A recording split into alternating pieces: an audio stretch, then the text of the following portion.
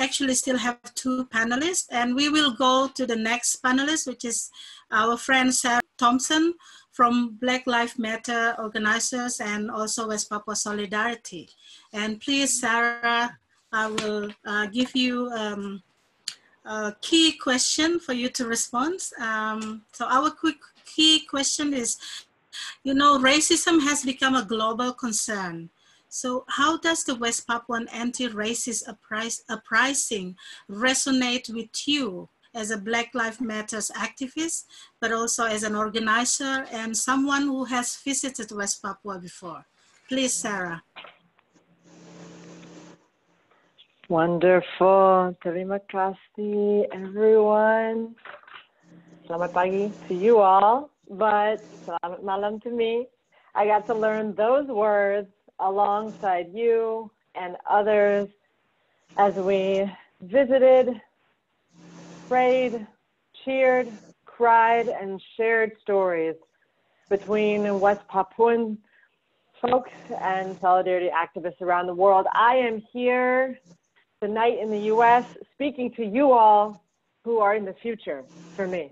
And so I know there is a future here, and that encourages me. I am here because Martin Luther King Jr. said, Injustice anywhere is a threat to justice everywhere. And we have been marching in the streets all week. And as we march, we have lots of time to talk. And so we ask each other, what moves you to be out here today? And so we share our stories with one another. And one of the things I share is that I share that the Black Lives Matter movement is global. It looks different in each place, but because anti blackness is global, our movement to address racism is global. And I share about what I saw in West Papua. I think of me and others who were students, West Papuan students in Jakarta, who ordered an apartment.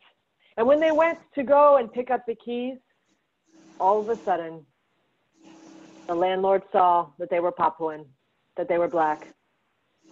And somehow the apartment was no longer available.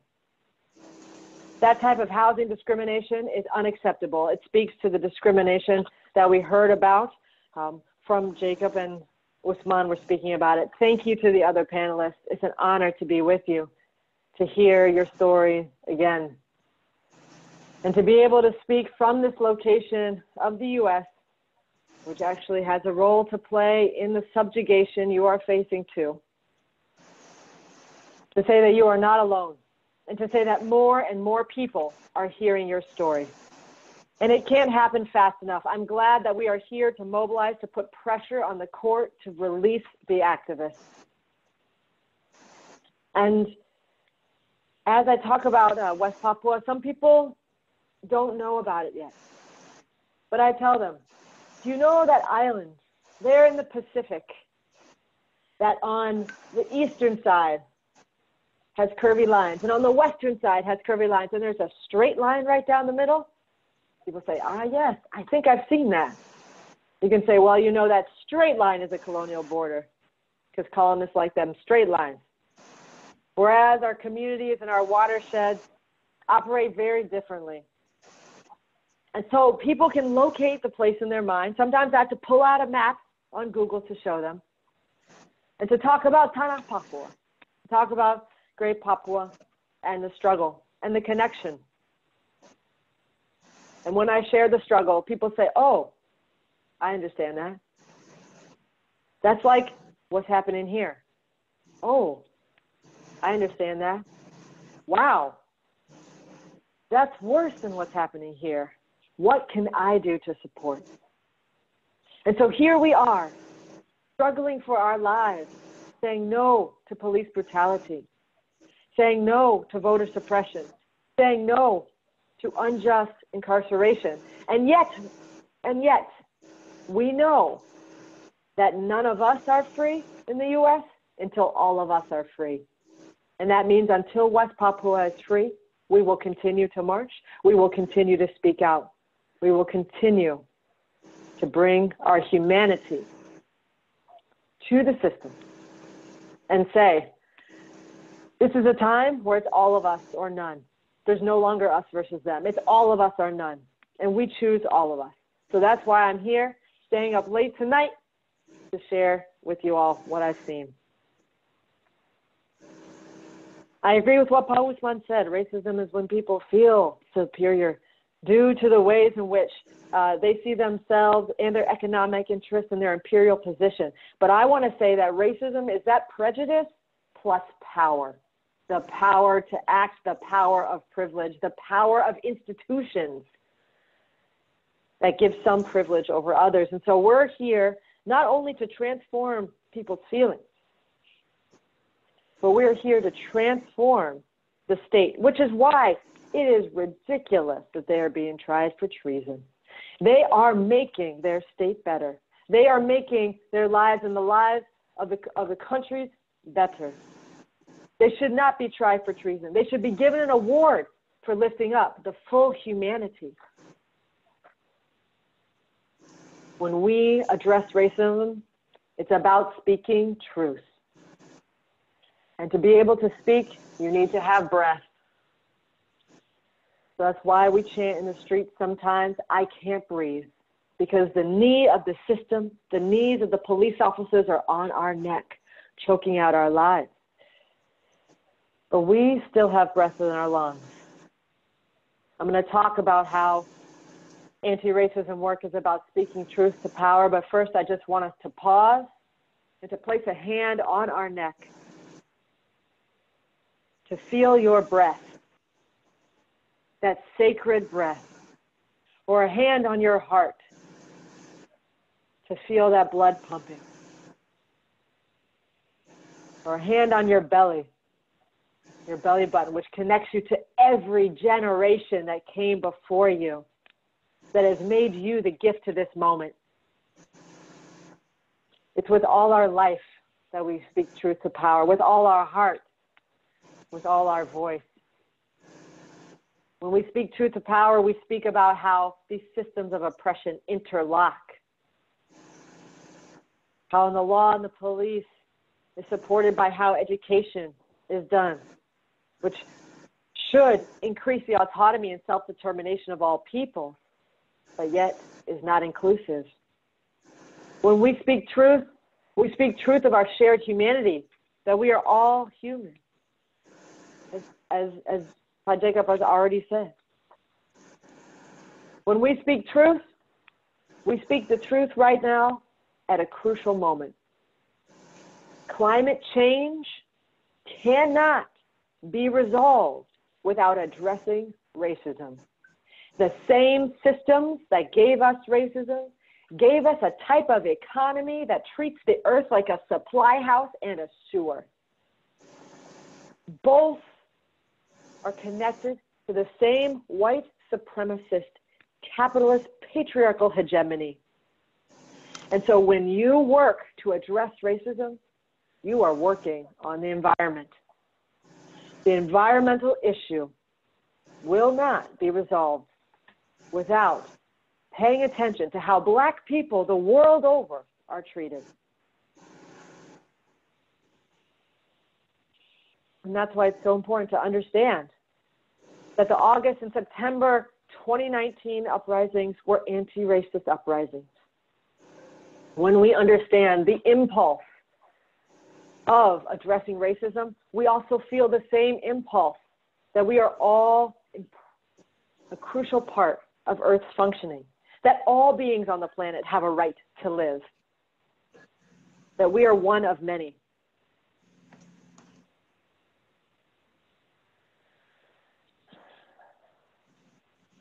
So Jacob talked to the fact that racism has its roots in colonization I want to speak to a very particular aspect of colonization, and that's called the doctrine of discovery. The doctrine of discovery is a series of papal bulls written between 1452 1493. It essentially let the Christian church in Europe say to the nations of Europe, whatever lands you find that are not ruled by Christians, those people are less than human, and the land is yours for the taking. This is one of those root causes. So, as we think about how do we turn this global moment of uprising into a movement, It's to look at that deep root of the doctrine of discovery. 1493, the Pope said, okay, I put a line here, Inter caetera. Portugal, you can have all the lands east. Spain, you can have all the lands west. Took authority that wasn't his to give a state the power to discover, take, invade, and subdue. This doctrine of discovery is what allowed for the colonization of Papua. It's what allowed for the beginning of the transatlantic trade in African bodies, what allowed for the destruction of indigenous peoples here on this continent and every continent. And so, in one response, has been to look at the, to, to, to go to the UN and say we, we need a universal declaration on the rights of indigenous people that says no to this doctrine of discovery. And so I put two links in the chat that you can follow at another time to see how our work on Black Lives Matter relates to Indigenous struggles worldwide and how we can come together to repudiate the doctrine of discovery and to speak to the prejudice plus power the power to take land, the power to subdue. This is what we will undo together if we are preserve life on planet Earth. There are a lot of allies on this call, a lot of people who have been moved to tears, who are ready to act. And sometimes, allies, you feel like small or afraid or powerless. But actually, your work also really makes a difference. Being able to put pressure and utilize the privilege and the comfort that you have because of privilege to, to use your humanity in service of all of our humanity that's what we need. So with bold humility let us continue to contact all of the representatives that we can at the UN level, at the Australian level, here in the US, in Indonesia, in Papua, to release these prisoners to release these seven anti racist activists. This, is the beginning of the release for all political prisoners in Papua and around the world. Your call makes a difference. Turning this moment into a movement includes you thinking about how might you take your learning from today's webinar and share with someone else? How, can, how might you develop a curriculum for where you teach? Or get some of your neighbors together at a safe social distance, of course, to think together how might our neighborhood support West Papua? If you're part of a religious organization, every time you get together, how might you create a curriculum? How might you continue to educate people about this? Because this anti racist uprising is also to preserve your humanity. And if you're so bold, you might even bring this up at a family reunion. That's one of the hardest spots. But we have, we all know people. We can all participate in the movement. We know that here in the US, we are not free until you are free.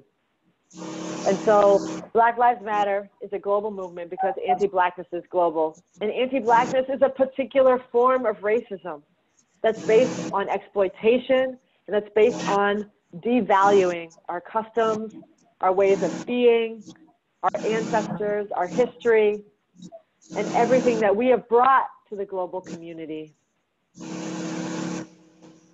And so, as Anti Blackness is Global, we say globally that Black Lives Matter.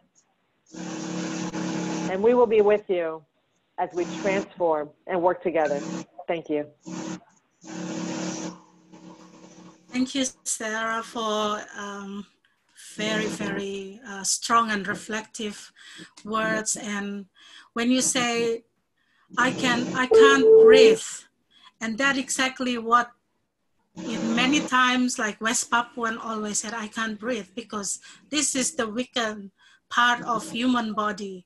And many west papuan always uh, have like being treated in this particular part of their body so then they become weakness